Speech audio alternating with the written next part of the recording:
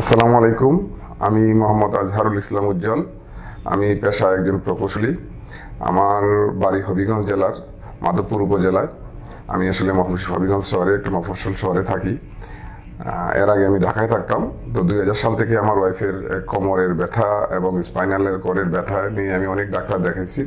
বাংলাদেশের প্রায় সব হসপিটালেই আমি গেছি। তো বিশ বছর যাবত আমার ওয়াইফই ব্যথা আসলে ভুগতেছেন আমি কোনো জায়গায় কোনো উপায়ন্তর না দেখে শেষ পর্যন্ত আমি চিন্তা করলাম যে আমি দেশের বাইরে নিয়ে যাব। তো আমার আসলে পেশাগত সমস্যার কারণে এবং সময়ের কারণে আমি শেষ পর্যন্ত সিদ্ধান্ত নিই যে আমি আসলে অ্যাপোলো হাসপাতালে আমি একজনকে দেখতে- দেখাতে চাই। সেই হিসাবে আমি অ্যাপোলো হাসপাতালে যোগাযোগ করে আমি প্রফেসর জিলুর রহমান স্যারের সিরিয়াল নিই এবং গত ফেব্রুয়ারি মাসের এক তারিখে আমি দুই হাজার উনিশ সালের ফেব্রুয়ারি মাসের এক তারিখে আমি জিলুর রহমান স্যারকে দেখাই।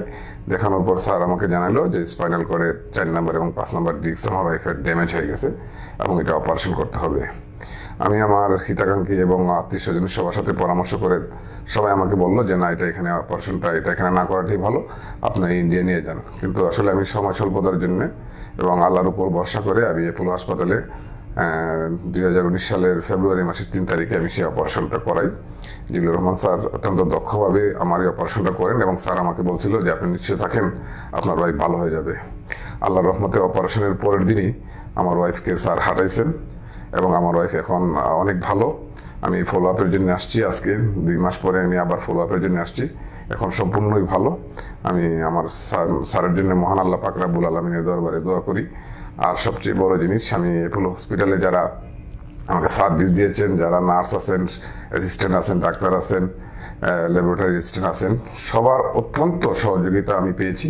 সেজন্য অ্যাপোলো হসপিটালকে আমার ব্যক্তিগত পক্ষ থেকে ধন্যবাদ। আমি অ্যাপোলো পরিবারের সবার জন্য মহান আল্লাহ পাক রাব্বুল আলমিনের দরবারে দোয়া করি, সবাই যেন ভালো থাকে।